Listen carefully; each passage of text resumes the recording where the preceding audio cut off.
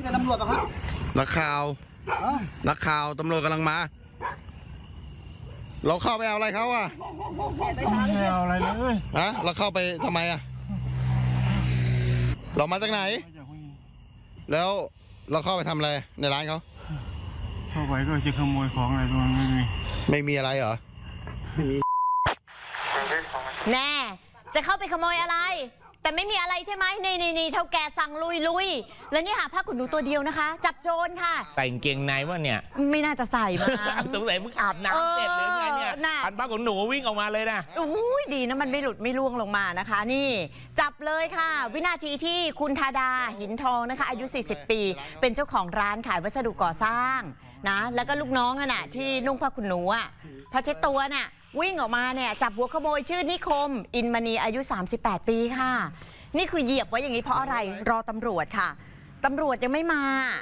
นิคมและเพื่อนเนี่ยมาขโมยเครื่องมือช่าง ในร้านของเท่าแก่ที่อยู่ริมถนนสายบายพาสชะอำปราณบุรีค่ะ ที่เพชรบุรีนะคะแหมตีหนึ่งอะมันมาเวลาดีดีๆกำลังจะหลับอยู่แล้วอะเพื่อนของนิคมเนี่ยหนีหายไปได้นะคะ เจ้าของร้านคุณธาดาบอกเลยค่ะ ตอนนั้นน่ะมันเข้ามาขโมยของในร้าน แล้วเสียงสัญญาณเตือนภัยดังขึ้นมา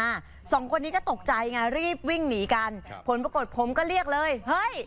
ไปช่วยหน่อย เรียกลูกน้องอะค่ะห้าคนจับไว้ได้คนหนึ่งแม่สุดๆจริง ๆ ฟังดูค่ะให้มันออกมาอืมคาดว่าผมเห็นสองคนอืมแต่เนี้ยมันจะออกมาทีแรก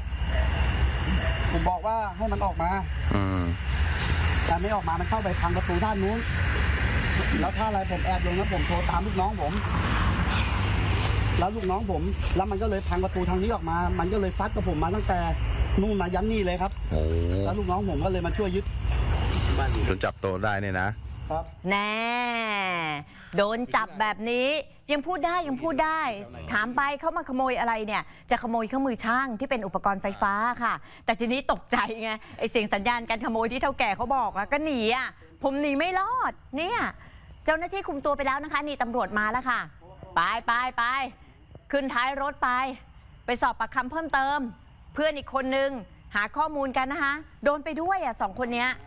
แหมอีกคนหนีไปได้เนอะแต่หนีไปไหนไม่ได้ไกลหรอกเดี๋ยวก็ตามเจอเออเล่นกับใครไม่เล่นมาเล่นกับอาเฮียเจ้าของร้านวัสดุก่อสร้างใช่ไหมลูกน้องเฮียเยอะแยะเต็มไปหมดเลยค่ะ เพราะฉะนั้นเนี่ยพอโจรมันมาให้เห็นเห็นๆเนี่ยเรียบร้อย โดนจับ โดนจับตามระเบียบฮะคุณผู้ชมครับ